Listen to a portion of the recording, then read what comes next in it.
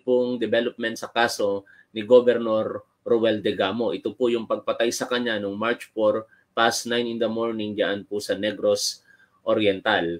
Ito po ay nag-iwan ng siyam na kataong patay kasama na po diyan si Governor Degamo at labing pitong seriously injured. No, tatlo lang po pala yung merong minor injury at saka labing apat po yung merong serious injury. At kaugnay po niyan, ang ating Pangulo po ay tiniyak ang tulong para po sa mga biktima at ganun din po ang hustisya para po sa mga napaslang. Panoorin po natin ang balita una sa pagbisita po ng ating mahal na Pangulo kagabi diyan po sa Burol ni Negros Oriental Governor Ruel Degamo. Makapangyarihan daw ang utak sa pagpatay kay Negros Oriental Governor Roel Degamo na itinuturo ng dalawang suspect sa krimen. Tila tugma yan sa hinala ng byuda ni Degamo. May unang balita sina Salima Refran at John Consulta. Dumalaw si Pangulong Bongbong Marcos sa Burol Negros Oriental Governor Roel Degamo. Kinausap niya rin ang byudang si Pamplona Mayor Janice Degamo. Sinabi ko lang sa kanila na makakaasa sila na magkakaroon ng uh, justisya dito sa inyong probinsya na naging masyadong magulo na. Na-appreciate talaga namin na amidst his being very busy sa kanyang schedule, na nakita din talaga niya na at na naalala na i-visit si Governor. Naunang kinundina ng Pangulo ang pagpatay kay Degamo at walong iba pa noong March 4 kumbinsido raw siyang may kinalaman sa politika ang krimen. Pero tanong pa rin kung sino ang mastermind. Iginanta raw yan sa extradition convention ni na Joven Javier at Osmundo Rivero, mga dating sundalo at dalawa sa apat na suspect na hawak ng NBI. Hindi pa muna isinapubliko ang impormasyon. Pero ayon sa source ng GMA Integrated News, ang tinukoy ng dalawa ay isa raw malaking personalidad at may middleman na nagangalang Marvin. Apat daw ang ikinasang paraan ng pagtumba, ambush, sniper attack, pag-intercept sa pag-iikot ni Digamo sa constituents o paglusob sa bahay niya. Ang panghuli ang nangyari nitong Sabado. Hinala naman ni Mayor Janice Digamo, iisa lang ang nagbanta noon sa buhay ng mister at ang mismong nagpapatay at makapangyarihan daw. Sinasabi ninyo na involved sa land grabbing, na involved din sa mga patayan. Ano yung mga pangalang politiko ba yan? Yes, sir. They are powerful people in the province. Pasado launa ng hapon, inilabas sa kulungan ng NBI ang dating sniper na si Javier at dating sundalo na si Rivero. Bukod sa NBI, kinausap na rin sila ng ISAP o Intelligence Service of the Armed Forces of the Philippines. Bigyan ng uh, ang statement po. Handa ka, sir? Yes po, sa habang tinagal ng serbisyo ko sa buong Pilipinas. Okay. Basta po, bigyan lang ng protection ng aking pamilya. Opo, sir. Naka ng tete. Yun ang mahirap eh handa kayong tumulong dahil sa tinagal niyong serbisyo sa pagiging sundalo. Pero nung kayo'y natanggal sa serbisyo, kayo ay kumapit sa patalim at para lamang sa pera, pumapatay po kayo ng tao. Ngayon, hihingi kayo ng proteksyon para sa inyong pamilya. Anak ka ng teteng naman, oh. Hingi lang po ako ng sorry sa buong forces ng Philippines. Hindi po ako. Gate naman ni Rivero na pilitan lang siyang sumama sa grupo at walang perang inalok sa kanya. Walang alok 30M ang alok? Wala naman sir, wala wala wala talaga sir pera ako na ano. Okay. Wala talaga ako kung regarding sa pera sir. Bakit niya sir ginawa 'yon? Dahil sa threat ng family ko sir. Okay. Rinit. Tinret yung pamilya niyo? Yes sir. Ayon sa source ng GMA Integrated News, si Rivero ay nag-apply raw na driver at dalawang araw pa lang sa grupo. Di raw niya alam na itutumba pala nila ang gobernador. Mananatili nakakulong dito sa detention facility ng NBI ang dalawang sundalo habang umuusad ang investigasyon sa Degamo murder case. Sina Javier Rivero at dalawa pang hawak ng NBI, pati ang may direktang partisipasyon sa krimen, sinampahan na ng multiple murder, multiple frustrated murder, at iba pang reklamo ng Special Investigating Task Group Digamo. Kinumpirma ni Justice Secretary Jesus Crispin Remulla na tinukoy nga sa salaysay ni na Javier at Rivero ang utak sa pagpatay kay Degamo. Walang motive na sinabi, pero yung kausap nila uh, was uh, on video. A live conversation happened on video with a person na tinuturo. Hindi rin dinatali ni Remulla kung sino ang mastermind. Sinusuri rin daw ng DOJ kung ipapasok ang mga suspect sa Witness Protection Program. Pero kumbinsido raw ang kalihim, I can say that uh, the, the, the end is near. Malapit na ho itong masarado except for that all the perpetrators Parang kanta lang ah. Ano? And now the end is near. And so I face the final curtain. Parang kanta lang. The end is near. Pero natutuwa po tayo sapagkat ang ating administrasyon ay talagang kumikilos, mabilis ang aksyon, at nare-resolba ang mga krimen na nangyayari po sa kasalukuyan. In particular pala, maiba lang ako, no? yung barangay captain sa Batangas na pinatay, apat na po ang nasa kustodiya ng kapulisan at isa po doon yung mastermind, Police Lieutenant Colonel active in the service.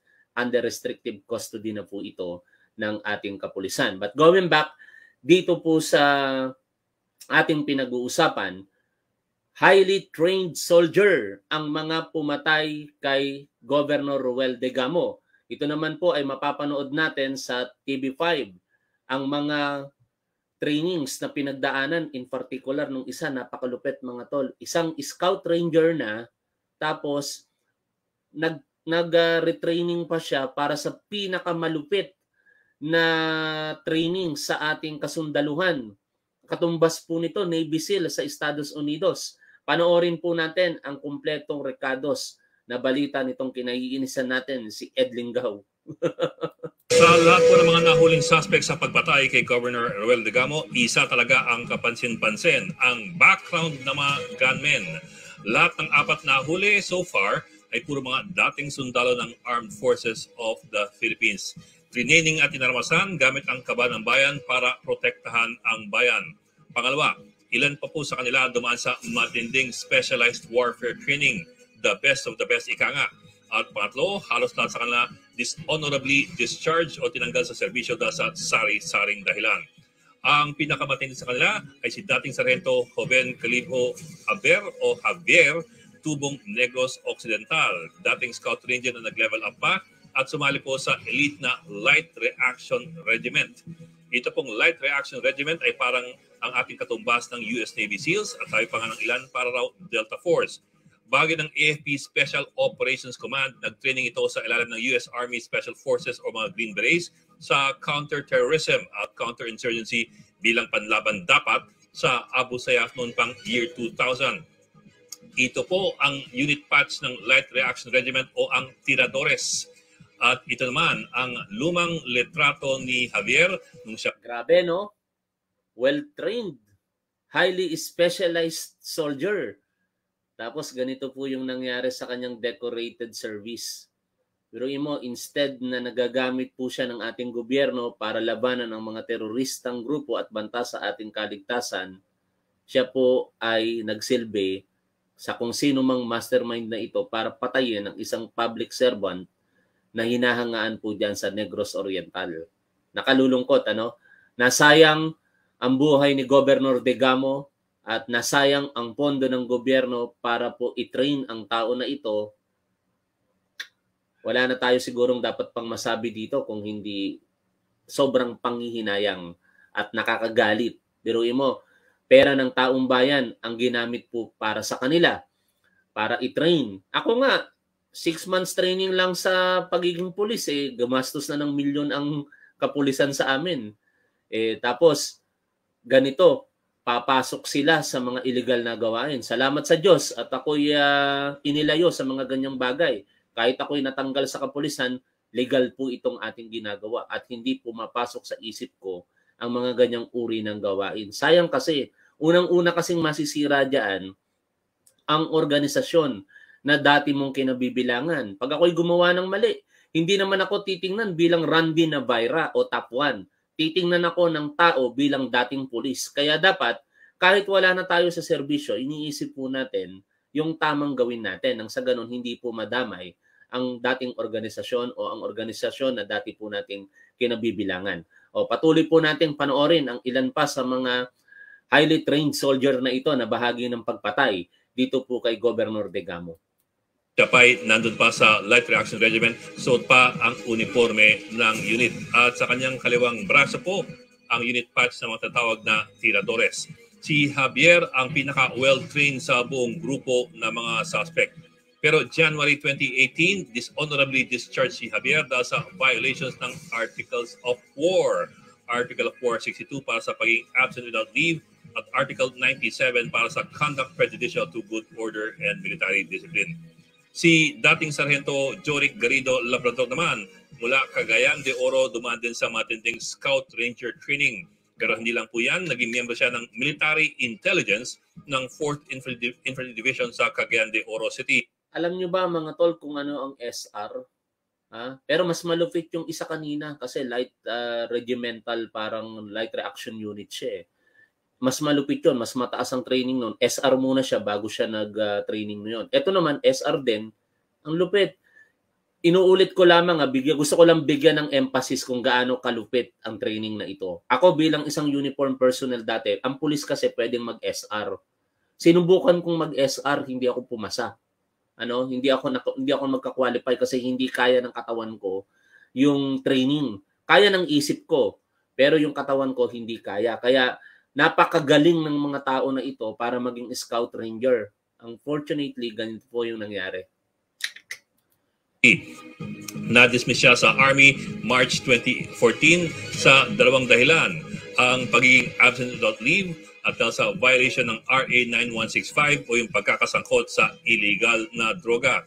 Si uh, dating Corporal Benji Rodriguez ng Misamis Occidental, dating nadestino sa 35th Infantry Battalion sa Polo, Sulu na-dismiss siya sa serbisyo dahil sa violations ng Article 4 para sa desertion at misbehavior before the enemy. Ang pinakahuling nahuli ay si Osmundo Rivero Tubong Zamboanga, dating army soldier na naging taxi driver. Kitang-kita po sa kilos nila ang kanilang military background kasama ang pag-aassault sa isang istruktura at close quarter combat. Yan po ang problema ngayon sa ilan sa mga veterano natin na dumaan sa matinding training, sumabak po sa gera pero naligaw ng landas ay nabigyan ng dishonorable discharge. Ayon kasi sa batas, ang veteranong mabibigyan lamang ng mga benepisyo ay yung mga nabigyan ng honorable discharge o walang lamat sa kanilang record. Ano itong mga benepisyong ito? Halimbawa po, halimbawa po ng pension package ng isang retiring veteran ay 3 uh, years lump sum benefits kasama po ang 1 uh, month base pay times 36 months. Regular monthly pension katumbas po ng isang buwang sahod ng isang In short, kapag ka dishonorably discharged sa AFP or dismissed from the service sa PNP katulad ko, wala po kaming matatanggap na benepisyo.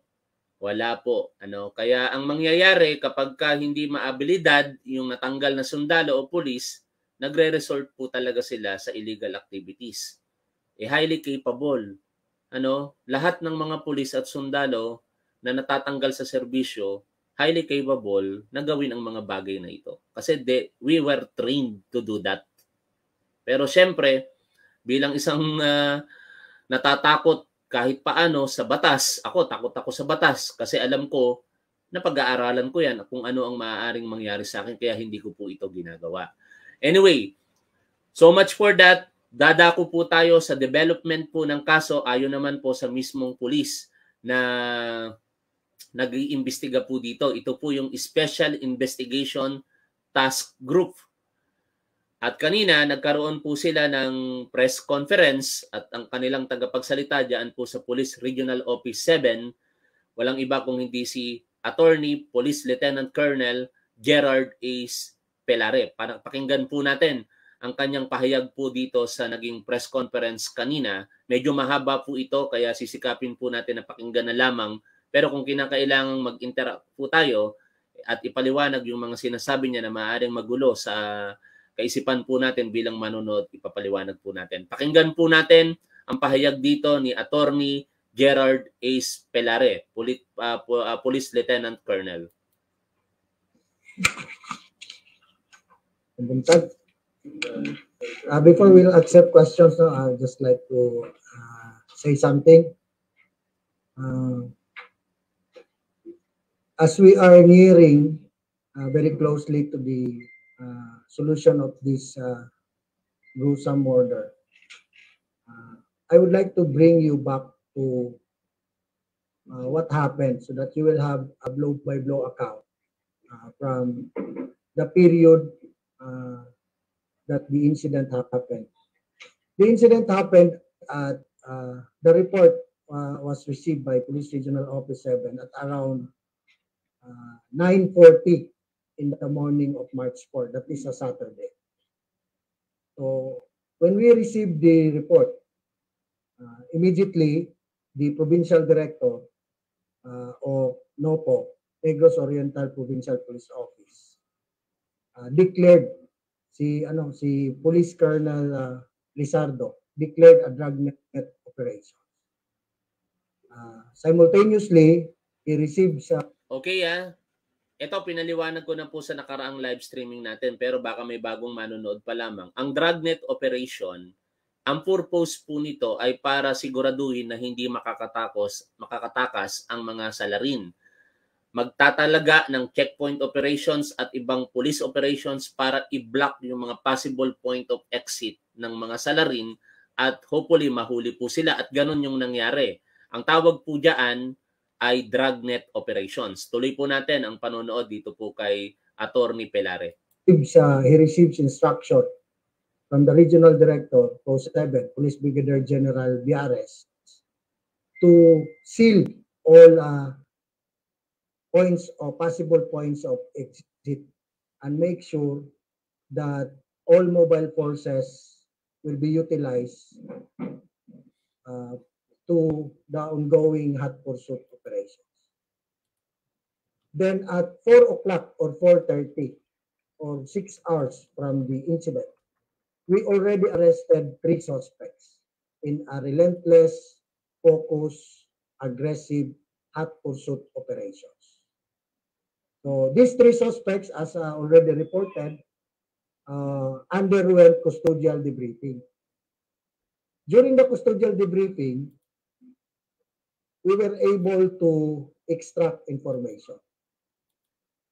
Uh, that time, the command group, Police Regional Office 7, headed by Police Brigadier General Jerry Biares, was on the ground closely supervising the operation.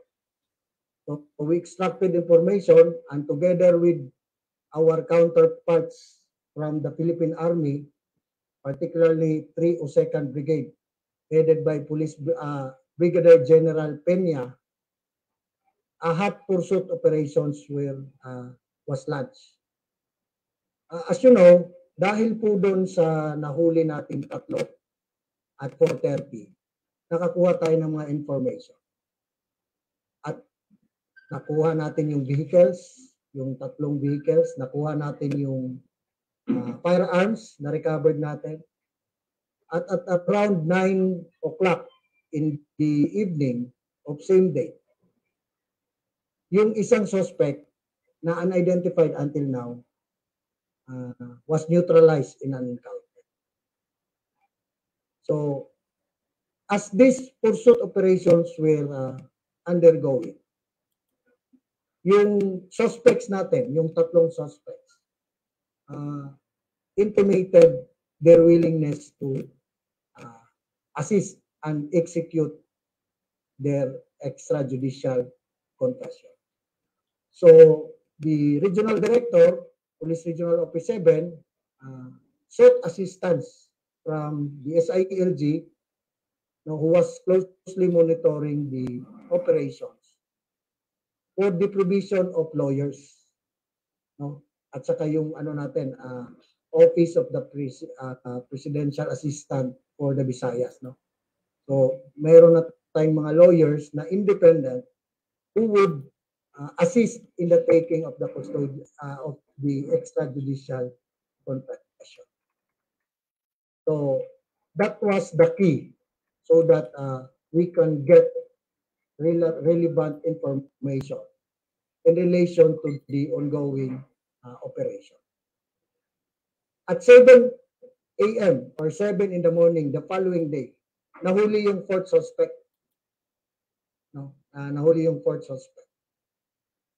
Tapos, ah, again, nag-intimate na mag-assist or tutulong sa investigation. Na-process sila, they were uh, uh, in the presence of lawyers, na-process sila uh, booking procedure. that the incident happened. Then, The incident happened at uh, the report uh, was received. all the pieces of evidence. Actually, during the custodial uh, debriefing, we have known of the the consolidated all the pieces of evidence. Actually, during the custodial uh, debriefing, we have known of the blow by blow account of what happened before, during, and after the uh, operation, uh, the crime. So, ni prinase sila together with the pieces of evidence recovered at at 1 a.m. 1 a.m. 1 in the morning of March 6 that's a Monday or more or less 36 hours from the incident happened we were we were already uh, we already forwarded the first set of complaints to the prosecutor's office. And uh, right now yung complaints na na-file natin uh, are uh, violations of Republic Act 9516, violation of Republic Act 10591, five cases of multiple murders, five cases of uh, frustrated murders.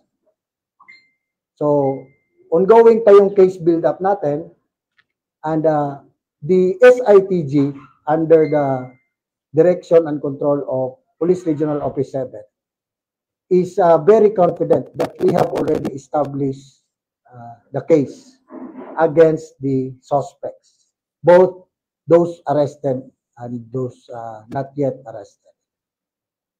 We have done uh, everything, and uh, as we forward all those uh, pieces of evidence to the DOJ, yung ginagawa na lang ngayon is the final touches of the investigation we are just consolidating uh, final pieces of evidence that would uh, really uh, ensure na airtight yung cases natin.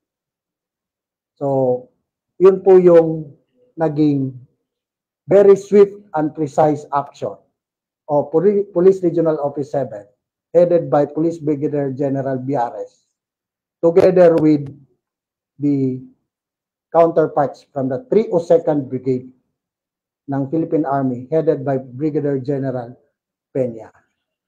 So, ngayon, ang aming trust ngayon sa SITG, we are completing the pieces of evidence, especially the forensics.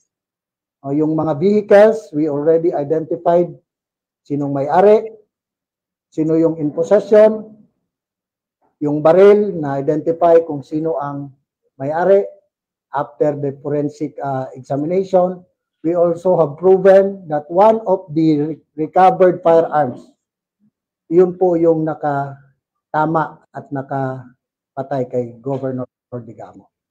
So the SITG, uh, Police Regional Office 7, under the leadership of Brigadier General uh, Biares, has spent considerable period of time analyzing these pieces of evidence to make sure that we have airtight cases. The RD Pro 7 and the command group is still here in uh, Negros Oriental to make sure na we can uh, develop and we will uh, make sure na airtight yung case natin as we pursue the remaining few uh, suspects. Then, in line with this, as you all know, there are still suspects in the run. Meron pa the appeal of the Regional Director, Police Regional Office 7 to the constituents of uh, Negros Island. No? Very crucial yung information na binigay nila at the early stage of the operation, which resulted in the arrest of the suspects. We would like to reiterate our request that if they have information, kung naamoy informasyon sa mga suspects kung naamoy nakita, naamoy nadunggan nga mga suspicious individuals diha sa inyong mga lugar, uh, mo-appeal ang SITG and of course, our counterparts from the Armed Forces of the Philippines to contact us and uh, give information so that we can account for the remaining suspects. Uh, we have a number here na ma-contact nyo. No? You can also visit police station. But you can contact uh, our numbers 0927-150-9415 and 0998-598-7486. So as we have uh, emphasized, we are nearing the completion of this uh, investigation. We have arrested suspects. We have uh, filed cases in court. Uh, all pieces of evidence were processed. We have identified the perpetrators, including the alleged uh, mastermind. What we are doing now is just trying to finalize the pieces of evidence that would Yon, including the alleged mastermind. Sino kaya ito? Sabi ng isang manonood natin, si Tebes daw, hindi ko pa alam. Kasi ito din naman yung pagbabasihan ng balita. Tatanungin mamaya yan ng mga reporter kung sino ba o papangalanan. Ayokong manggaling sa akin, ano? yung pangalan. Pero talang tanungin natin o panoorin natin kung sino ba yung alleged mastermind dito po sa pagpatay kay Governor Degamo. Sinabi niya na identified na eh ang alleged mastermind. Kaya pakinggan natin patuloy ito pong si Attorney Pelare. that would make sure that the cases that we are going to file can withstand uh, court trial and could bring the suspects or the perpetrators to conviction. Daghang salamat. We are now ready to answer your question. Uh, sir, before that. Just like to know, sir, yung timeline, sir, bago, so you mentioned earlier before sa crime committed, when, pwede po ba namang malaman kung ano po nangyayari, paano po nila pinagkahandaan yung? Yes. Uh, according to our investigation, uh, the perpetrators were gathered. They came from different places. Some of them from Mindanao. And uh, may mga dumating dito as early as December to conduct casing and surveillance to identify what is the particular mode of operation that they are going to uh, launch uh, for the attack of the governor. Yung iba, two days before dumating, no? Um, yung iba, three days before. So they were gathered, they were briefed uh, in a particular place, in a safe house, para when they have that opportune time, they will launch attack. Actually, they were choosing, uh, they were, uh, they have options kung anong gagawin. And uh, on that fateful day, very tragic uh, day, uh, yun po yung time na nakita nila na best na i-launch yung uh, attack, which resulted in the death of our dear governor and eight others and the injury of 17 uh, victims. Sir, anong klaseng armas po yung ginamit sa pagpatay kay Governor Gamo? One of the uh, recovered assault rifles, uh, yung na-identify, according to forensic evidence, according to forensic, because we are very particular, the SITG is very particular with forensic evidence. Uh, we make sure na solid yung forensic evidence natin because this is a, a very strong piece of evidence uh, during court trial. Ah, sir, possible po ba na marilibo yung lahat ng mga PNP mo? Well, as far as the SITG is concerned, the Special Investigation Task Group, our uh, function is for the conduct of investigation.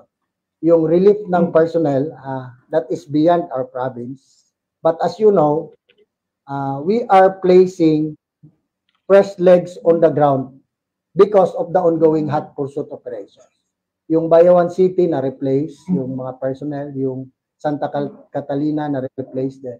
This is in line with our ongoing pursuit operations.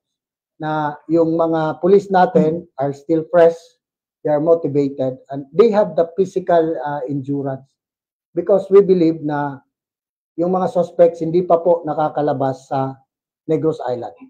Okay, for Mr. Roy Postulo from the rejoin there lang, sir, uh, question. Uh, all the arrests, all the recoveries of the mga armas, lahat-lahat, mga blocking force, were done by Bayawan PNP. No, I mean, the, the first recovery arrests were from the uh, Bayawan. yung na-mention natin, joint operations na po, yung hot pursuit natin. Uh, when we received the report, RD Pro 7, Police Brigadier General Biares, declared a dragnet operations. No? Uh, si Provincial Director, Colonel Lizardo, was really on the ground trying to personally lead the manhunt operation. Yung nakakuha po ng first three suspects actually was a composite team uh, from Police Regional Office 7, specifically NOPO, and our counterparts from 302nd Brigade. Of course, we have uh, been augmented with our intelligence uh, uh, community, no, MICA and uh, MIG. Sir, follow up, sir. Why only Bayawan were released? Why not the, from Pamplona, which is, um, uh? We still don't know. We still don't know. No? Uh, that is a decision that the command will determine. Right now, ang na-report natin sa inyo is uh, two police stations where uh, uh, there, there were administrative reliefs. No? Yung sa Bayawan City and yung sa Santa Catalina. Now, we don't know uh, what will be the further actions uh, uh, of the command, but these are all in relation to the ongoing hot pursuit operation. I am not uh, privy to the decision-making process. Okay, from CBN and Ms. Eugene. Sir, you mentioned last time na coordinate ang SIP with other police units regarding reported arrests. So, ano po ba yung update? Which one? What, what Yung arrest? sa Bayawan, ay, ay, I mean sa Amlan. We are still trying to assess if uh, in any way the arrest that was uh, made in Amlan na may nahuli is uh, related to this hot pursuit operation. Next question. Okay na? Sige na? Po yan, sir, clarification ako, no? Paano yun huling yung pang-apat na suspect? Yung isa na lang. Paano ba, ano ba? Yeah. Uh, what happened was that he was uh, walking sa road, sa highway, doon sa Bayawan City din. Oo. Ah, naglalakad siya, naabutan siya ng pulis doon. So what he did, he pretended to be uh, someone who was victimized by carnapping, uh, trying to seek assistance. But when the police uh, interposed strategic questions, he readily gave in information. And uh, it turned out that that person, the fourth person who was arrested, was a direct participant of the shooting incident. And uh, he is one of those who executed extrajudicial confession. Is it true, sir? Is it the one speaking? Cebuano speaking, yes. Yung from court? Yeah, the, the fourth one is Cebuano speaking. Please, uh, uh, yeah, he is from Zamboanga City, but he can speak uh, Cebuano. Right now, we only have the nickname, but uh, until we can uh, uncover the identity, no, I, I will not uh, make the necessary pronouncement. Kasi hinihintay pa po yung family na mag-claim. But he was, uh, according to the testimony of the first arrested suspect, he was one of the lookouts. Yung, uh, yung ident- unidentified na nasawi. Another question? How many all in all are we looking at sir, na mga na suspect, mastermind, ilan silang lahat? What we have uh, forwarded to the prosecutor's office uh, for the complaints of murder, uh, multiple murders, and uh, frustrated murders.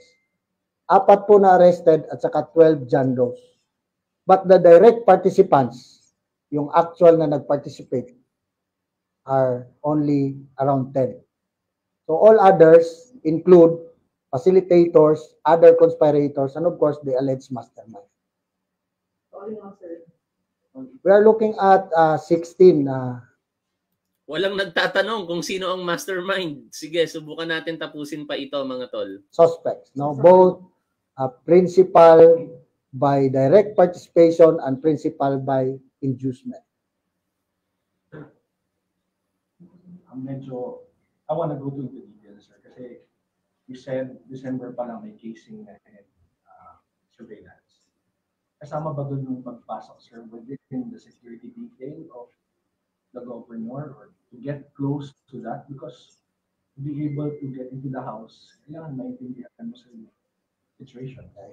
According to the testimony of one of the suspects, which uh, I will not go uh, very specifically, uh, as early as December, nagki-casing na uh, so surveillance. I am not uh, sure if uh, that would include actual penetration doon sa uh, security detail. But there was already surveillance casing uh, trying to um, choose the best design on how to attack.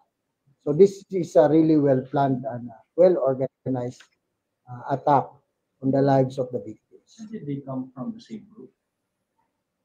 What we have uh, in our record is that they came from different places, but most of them, they were ex-military members who were dishonorably discharged.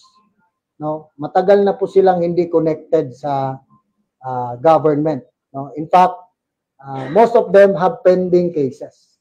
No, they have uh, pending cases, and some of them na imprison na, and uh, they were uh, released for various reasons. Nakapiyansa na, natapos na yung kaso.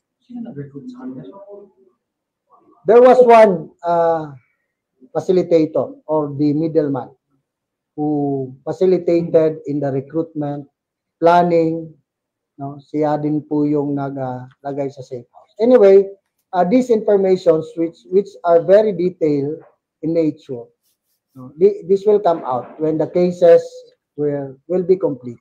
No? As I've mentioned, no, as far as the Special Investigation Task Group is concerned, uh, we have substantially done our part in the investigation. We are nearing the solution of this crime as we have already the true picture of what happened before, during, and after the incident, as well as the identities of the personalities, the direct participants or those uh, principal by direct participation, and those principals by direct, uh, by inducement.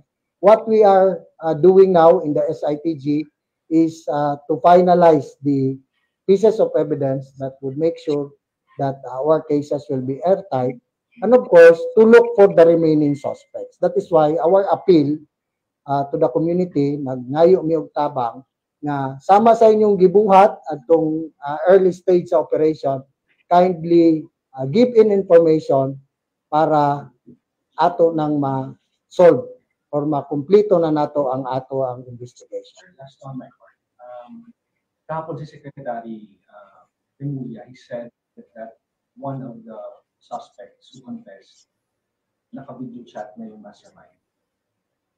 How will you establish, how will you, how will you make it airtight na yung sinasabi niya video chat really happened? Please, sabi ko kasi airtight yung kaso. That information actually came from the extrajudicial confession. And uh, that is the efforts now that we are trudging. The Special Investigation Task Group is trying to collect pieces of evidence, scientific, testimonial, and object, object to make sure that we can uh, build an airtight case against the mastermind, alleged mastermind. And including the establishment. That would be considered, sir. of course. That is one of the primary considerations. Sir, is there a big possibility na makakilala yung iba ng sir?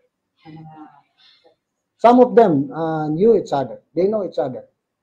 Uh, some of them uh, hindi kilala, doon lang nagkakilala. In fact, uh, wala pong complete identities yung iba. Only nicknames. Okay, Agent. So, clarification, is there an inside officer sa We are looking in that angle also. Na? The possibility that someone uh, inside the compound was uh, a conspirator. Okay, ma'am. Sir, on the uh, uh, separate but related uh, concern, public viewing of uh, the governor's will starts today. Um, how is the security? Will there be screening? Will there be limit quota? Or how is the police securing the air? Capital the security was beefed up, no? Uh, because we have anticipated that uh, there will be a lot of uh, sympathizers who will visit. I am assuring everyone that uh, Negros Oriental Provincial Police Office will uh, establish and introduce uh, maximum security. I will not just uh, go into detail, but I would like to assure uh, everyone that the PNP and the AFP will work together para po uh, ma-secure ang lahat ng activities pertaining to the uh, funeral of our dear governor and the other victims no we have also uh, afforded the same security to the victims and those who are injured because uh, they are also uh, very crucial no? uh, in fact as i mentioned may mga victims pa with who incurred major injuries na hindi pa naka-execute ng affidavit Okay, so no more questions. So, daghang salamat sa pag-ari. Okay. Wala pa pong in-identified na alleged mastermind. Para sa kalinawan po, kasi merong pumasok kanina na manonood po natin, sinasabi niya na identified na po ang mastermind. Though identified na ito, hindi pa po ito pinapangalanan sa publiko.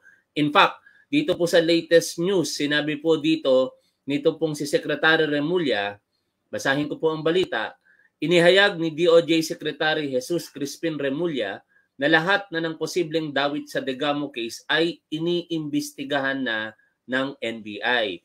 Kasama na dito si Congressman Arnie Tebes na kamakailan ay nasampahan ng reklamong murder dahil sa umano'y mga pagpatay sa Negros Oriental noong 2019. Kaya lilinawin lang po natin ano, hindi pa po opisyal na sinasabing mastermind si Congressman Arnie Tebes. Pero ayon po sa DOJ, siya po ay kasama ng iniimbestigahan ngayon ng National Bureau of Investigations. Yan po ang ating update ngayon sa pagpatay dito po kay Governor Roel Degamo.